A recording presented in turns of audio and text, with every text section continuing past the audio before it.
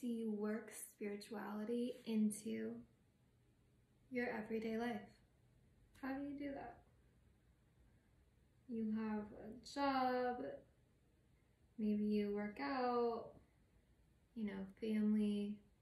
It's hard to make time. Oh, I get it. Except you already have worked spirituality into your life because you are a spiritual entity. You are you are a soul. You are not just a human. You just are in a human body. Today something really interesting happened because at in a high stress environment where it is very difficult to truly be in deep meditation, someone needed energetic help from me and I had to intervene. So I had to get very zen and very fast, and I needed my twin flames' help. Because together, I mean, just coming into union when our energy starts coming together. So that's why I want you to feel silence because that's what came to me. That's what spirit guided me to feel. And when you feel silence and you've practiced meditation a lot,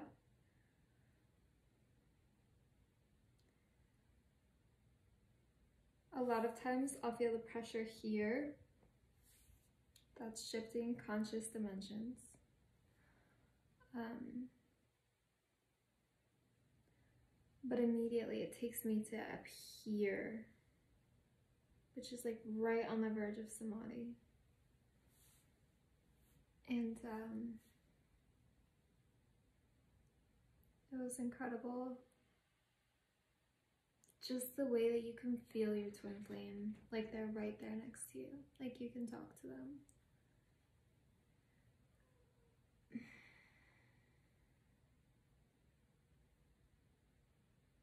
I saw my soul. Spirit showed me what my soul looks like in space. And on that note, also, when you're meditating, you want to think about just your soul floating in space and there's nothing around you silence and peace. Because that that silence your soul feels peaceful.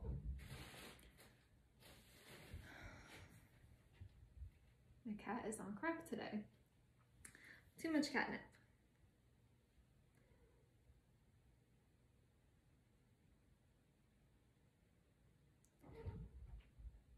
Um the twin flame thing is very difficult. Like I told you in my other videos, you get pulled together just so you can trigger each other and go and grow more on your own. Until you've completely ascended. You don't want to take time to actually suffer through that, just do the inner work. Um, but for me, it disturbs my peace sometimes. And so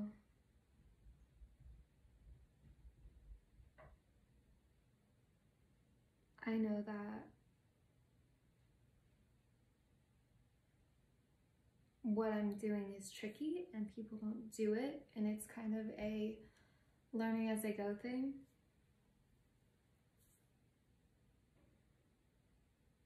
I rarely make a mistake twice.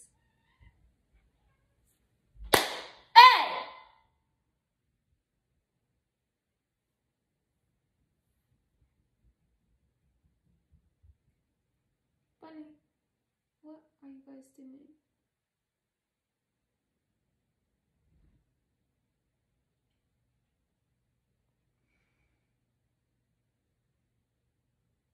Like I said in my other videos, if you are the feminine polarity, if you are the chaser, you go up, they come up. If you fall, they fall.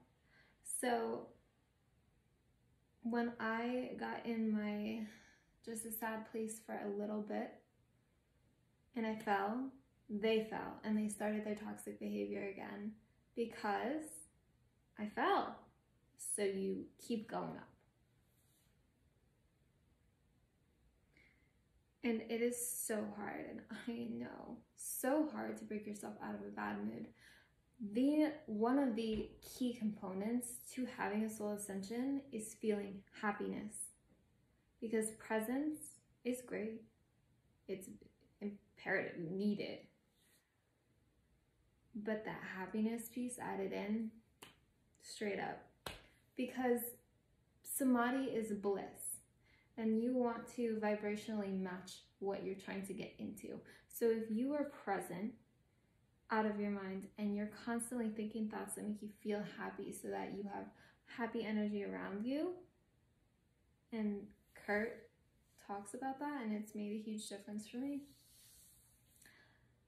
That energy will take you right into samadhi. So if you don't like how you feel, you can suffer through it or you can force a change.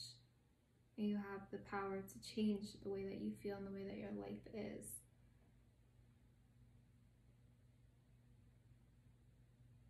I was watching someone posting on Instagram talking about, oh, everyone thinks they're a witch, and just because they got sage from wherever, and I had to chime in because every human possesses the capacity to have a soul ascension and to get in touch with the universe and manifest. People have come up with all these religions in an attempt to have a connection with the universe, with divine energy.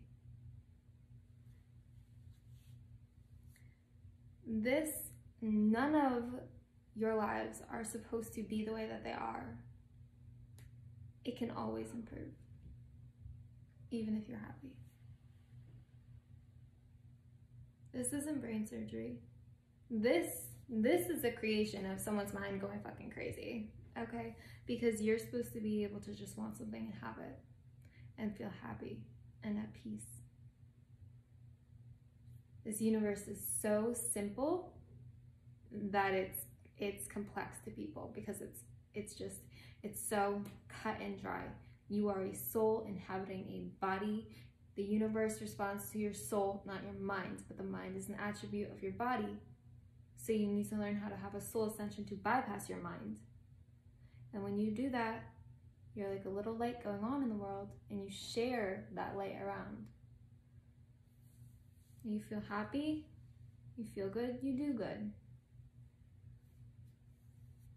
world peace is completely attainable.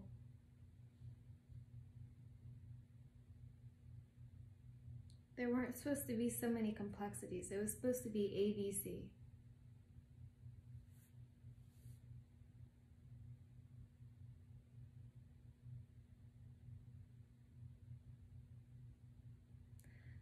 Do not talk to people about what you're working on because they will try to discourage you because they can't wrap their minds around it.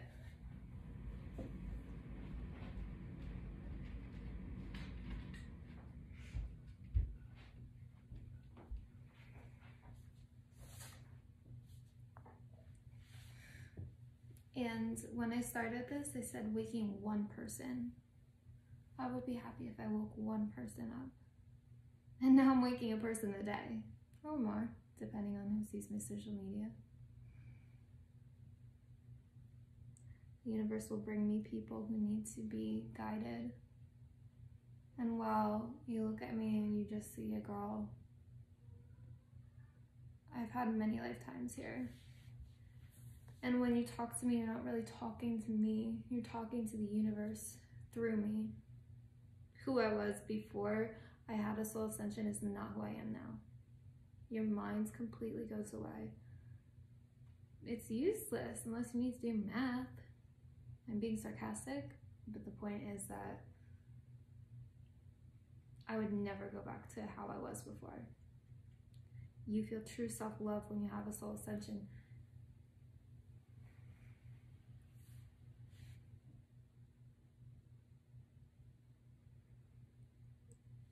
It's just every single person wants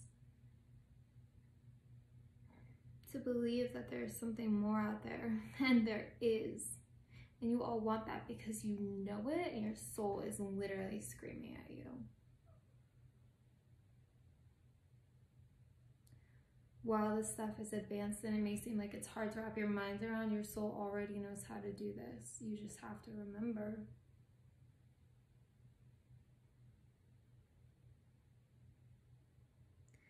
And I had said that all humans possess the ability to have a soul ascension and manifest.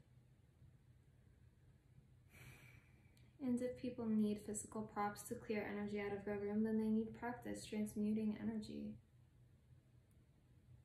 And while fakes are annoying, and trust me, people who run around like, oh, I'm gonna curse this person and they're being loud about it and show offy about it, you are putting a target on your back. You are putting a target on your back. Um,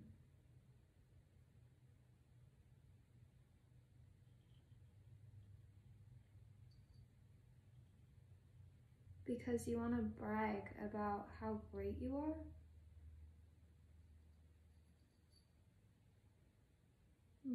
But being divinely guided means that you want to help others learn. And that is something that I, I have had a lot of knowledge for a long time. And I would teach my significant others and my best friends, and that's it. And I kept my knowledge to myself because I viewed myself as it was me versus people. And after having a soul ascension, something was triggered where I mean, I'd been in separation with my twin and immediately we had to connect, like that day when it started. And then I just started doing things where, like, creating an Instagram for soul stuff. And I was like, oh my God, people are gonna think I'm crazy because I was still kind of in my mind, but I was coming out of it. And I did it anyway and my true soul is just coming out. Because I'm not my mind, and you're not your mind. You're not who you think you are.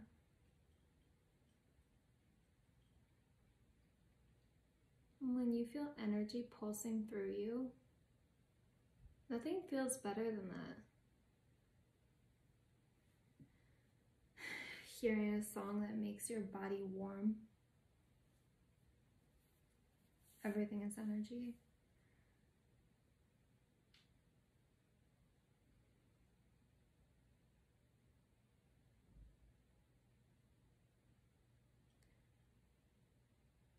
Something you should know is that I cut my mom off a lot today because she was very stressed. She kept talking about what stressed her, and I would yell at her and I feel bad because I don't like to yell at people. Um, but I yell at myself also if I'm doing this. And you do not talk about the things that stress you because you are literally talking it into existence. You have to focus on positive. So today, when it was chaotic, whenever you feel chaos, you need to immediately not get sucked in. This is my you sit back into your soul and you focus inward. And it's not about how you feel, it's about the impact that you have. And if you get stressed, you are putting stress energy out into the universe. Okay, you're one person. Now take millions of people who are putting out stressed energy. Do you want to fill your world with that? One person makes a big difference. Anytime you feel anything other than happy, you immediately need to correct your thoughts. Recognize that it's your mind. You correct your thoughts so that the thoughts you're having feel good. And then you keep going on that route, refusing to see any negativity. You only see what you want to see. Yes, you are ignoring bad things that you have manifested into your life. You did that. Even if it's someone else's energy, you did not know how to protect yourself and now you have manifested it into your life. So you are going to ignore the bad things, focus on the good things because as you do this and as your energy rises, the faster your energy rises, the faster the happiness is going to come into your life. The more you understand clearing negative energy out, the faster you will feel happy. It's not brain surgery. It's soul stuff.